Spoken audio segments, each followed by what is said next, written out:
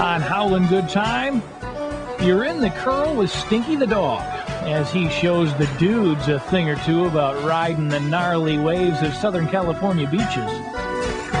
These stories and more on K9 to 5